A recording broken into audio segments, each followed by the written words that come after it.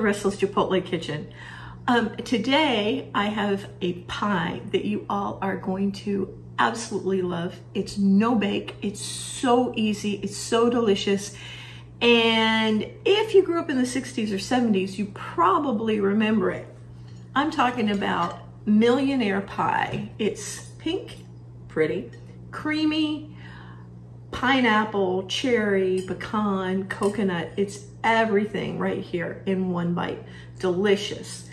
It goes on a graham cracker crust or I've used um, vanilla wafers or just other kinds of crumb crusts for it. But it, it goes together in about five minutes. You put it in the fridge overnight and it's ready to go the next day. So y'all head over to the kitchen and I'm gonna sit right here with my pie. Okay, y'all, these are the ingredients for our millionaire pie. We need sweetened condensed milk, not evaporated milk. Make sure that it says sweetened condensed milk. That's the really thick, sweet milk that you're gonna want for this pie. We have pecans, lemon juice, crushed pineapple, maraschino cherries, coconut, and Cool Whip. And I also have a recipe for um, kind of a copycat Cool Whip on the blog if you would prefer to use something all natural. Sometimes I do, sometimes I don't. I don't really see a difference in this pie one way or another. And then the other thing you're gonna need is a crumb crust. Sometimes I use uh, vanilla wafers, sometimes I use uh, sandwich cookies. This time I just used plain old graham cracker crust. So, and um, you want this crust to be well chilled. So I'm gonna put this back in the freezer and then we'll get started. All right, the first thing we're gonna do is we're gonna chop a half a cup of pecans. And um, I like to toast them after they're chopped. I think it gives them a little more crunch and a little more flavor. But you can skip that step if you want. That's not a problem. Just if you do toast them, make sure that you bring them back to room temperature before you add them to the pie or your pie is going to melt. In fact, um, chill them a little bit so that you're sure that they're nice and cool. You don't have to chop these up tiny. They, you know, you don't want them like this big, but they don't have to be microscopic either. Just a nice chop.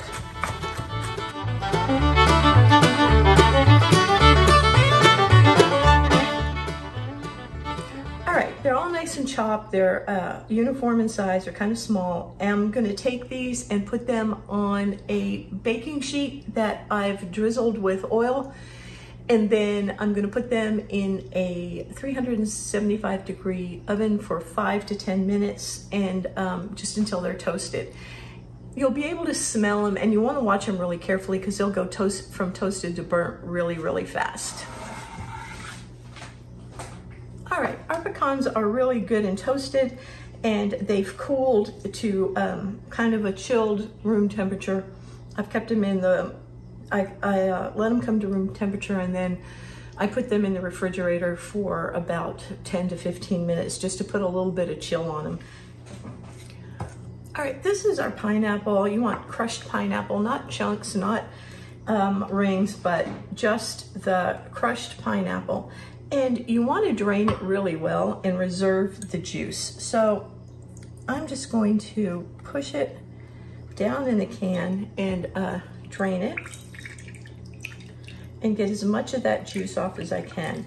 If you have time, it's really good to just kind of put a colander over a bowl and let it drain for, you know, maybe 20 minutes or so just to get as much of the liquid out of it as you can.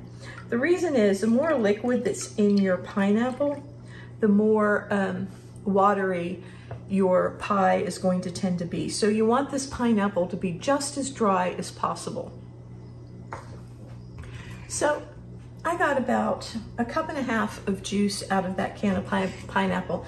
And as you can see, this pineapple is still moist, but it's, uh, it's also pretty well wrung out. It's pretty dry. You've got the pineapple meat, but you um, don't have all of the juice that's gonna make your pie get uh, too wet.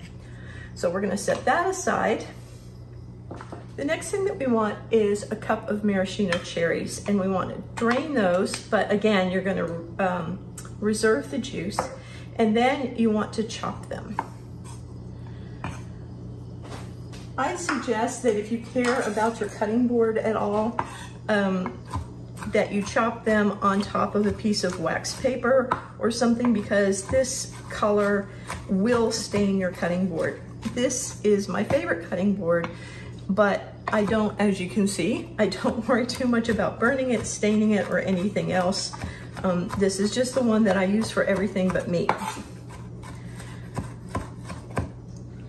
And you want the cherries to get chopped up, um, not too finely, but I don't like them where it's just halves either. I like them to be relatively, chopped relatively small.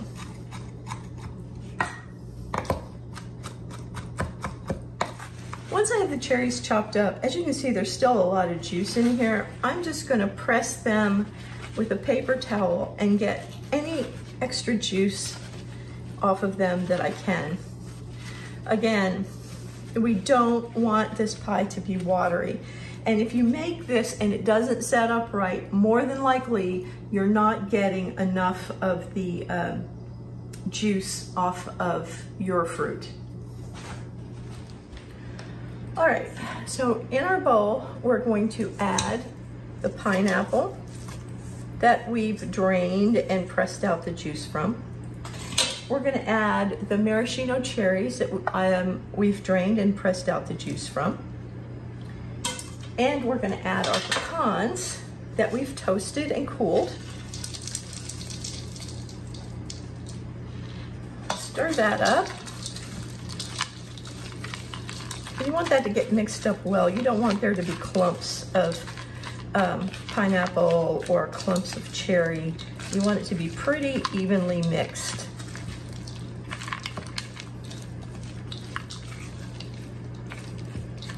Next, we're gonna put in one cup of sweetened flaked coconut, not toasted.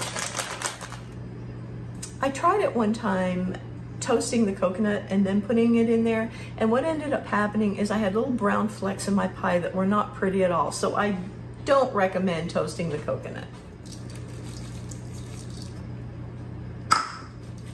Stir that up again. Now we're gonna add the sweetened condensed milk, the lemon juice, and the pineapple juice. Here's sweetened condensed milk, very thick. And you wanna run a, a spoon or a spatula around the inside of the can to get it all out because it sticks. You still have a lot in that can. I'm gonna add my five tablespoons of lemon juice, which this will help it set up. One, two, three, four, whew, just barely, five, all right? And one tablespoon of the pineapple juice that we reserved from the can. Now, you could also add um, a little cherry juice in here if you wanted to make it really pink. A lot of people do that and I've done it before, uh, but you don't have to. So, and I think this is gonna be plenty pink.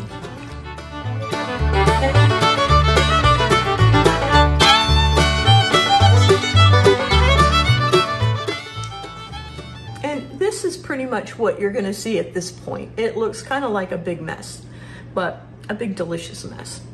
So now we're gonna fold in one and a half cups of Cool Whip or the Copycat Cool Whip on the blog. I always um, make it a very generous one and a half cups of Cool Whip and I put it in there in two separate batches. So I'm gonna take about half of it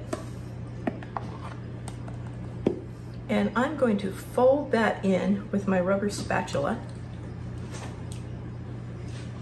And remember, folding is just an under and over movement, a gentle under and over movement.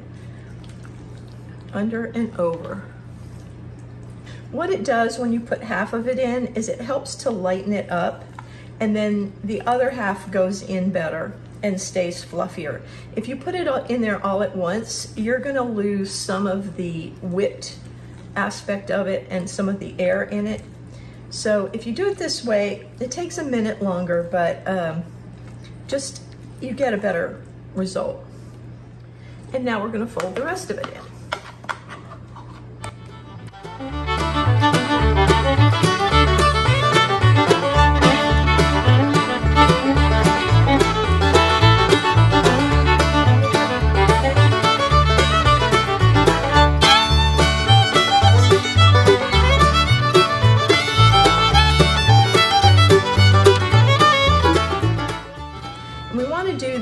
Until all of the uh, whipped topping is folded in and you're not getting a lot of um, streaks of thick white whipped topping, like right there.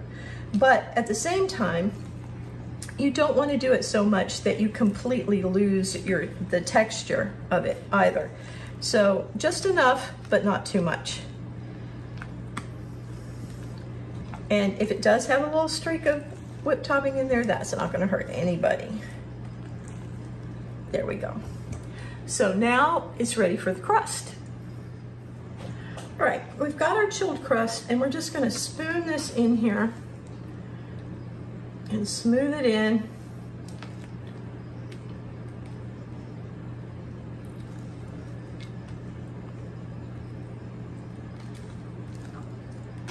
And try to kind of pile it up towards, you know, flatten it out so it goes all the way to the edges. But then with the rest of it, pile it up towards the middle. This pie is fabulous for all kinds of summer parties because it's no bake and um, you can serve it frozen. You can freeze it. You can make it ahead and freeze it. You can serve it frozen. I'd take it out of the freezer about 15 to 20 minutes before you want to serve it. And you definitely have to keep it cold. If you put it out on a picnic table on a 110 degree day, you've got about five minutes before that baby starts melting. But still, if you're going to be able to keep it cool, this is perfect because it's make ahead, it's pretty, and everybody loves it. All right, once you've got it mounted up like that, you're gonna wanna cover it and let it chill overnight in the refrigerator. Now, I'm just gonna give you a little tip. Um, I hate covering cream pies because the plastic wrap invariably gets stuck and half the, well not half, but a layer of the cream comes off on the plastic wrap. If you'll just spray it down with a little cooking or baking release spray or oil it with some butter or oil, whatever. But if you're gonna do oil, make sure it's not like garlic oil or something. Make sure it's a light oil. Then when you put it on, it's not gonna stick to the pie itself. If you get too much on there, like obviously I just did, it may not stick to anything, but let's see. So I'm gonna put this on. And when I take it off, see, it's gonna come right off without any problems. So I'm gonna put this on here like this. And then I'm gonna just cover it with the regular unsprayed plastic wrap just to make sure it's good and covered and make sure that the cover sticks to the glass because the oiled cover won't. So there's our pie. It's ready for the refrigerator and um, I'll see y'all tomorrow. Okay, y'all. The um, pie has chilled overnight, and so it's ready to be finished. And if you'll remember, I sprayed the um, plastic wrap with spray so that nothing would stick to it, and it didn't, so that's great. My The top of my pie looks pretty good. I'm just going to uh, even it up a little bit. And then on goes the topping. So there's a lot of ways to do this. Some people like to put it in little dots so that the pie filling shows through. I'll tell you what I like to do, and that is I like to cover up the whole entire thing. Because you know, go big or go home, right? So we'll see. A lot, a lot of times I'll do this with just um, my um, Cool Whip Copycat, which is basically a stabilized whipped cream. But this time I'm just gonna use a Cool Whip. My kids are gonna be sorry and sad because I used all of it, but that's okay. They liked it. I don't know, did you ever eat Cool Whip like out of the freezer when you were a kid? I sure did. And my kids, we don't have it around here very often, so they consider it a treat. A little crazy.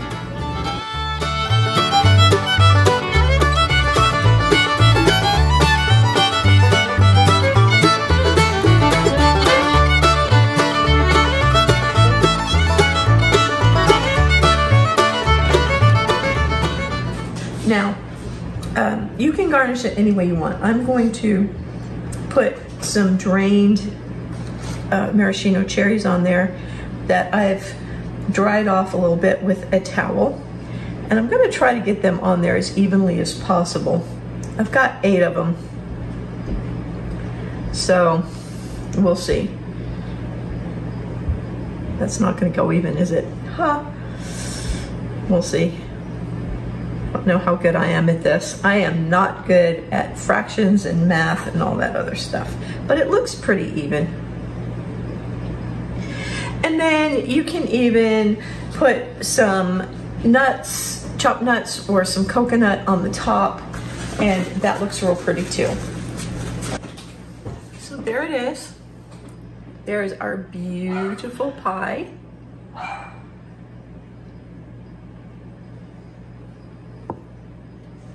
And now it's time to take it over to the table and cut it and see what we've got.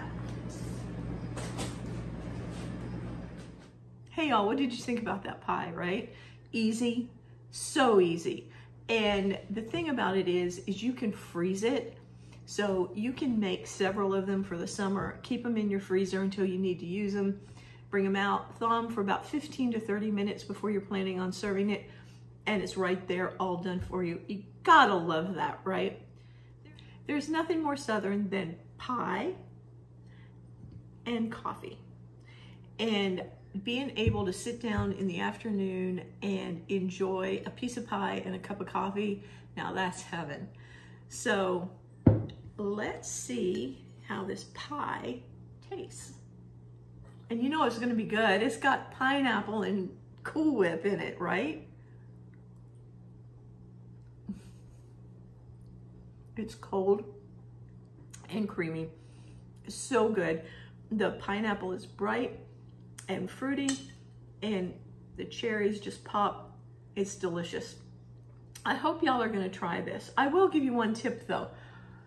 Before you go to cut your pie for serving, make sure that you do freeze it for at least 15 minutes just for it to firm up so that you get a really pretty piece, unlike my piece because I was in a hurry. So freeze that pie before you cut it. Your friends and your relatives, your family, everybody's gonna love it. You are going to be the belle of the barbecue. And um, I hope that you'll remember to subscribe and you'll check out Restless Chipotle blog. And I'll see you next time, okay? All right, I'm gonna sit here and enjoy this and y'all go on and get this stuff and make it. Talk to you later. Love you. Bye-bye.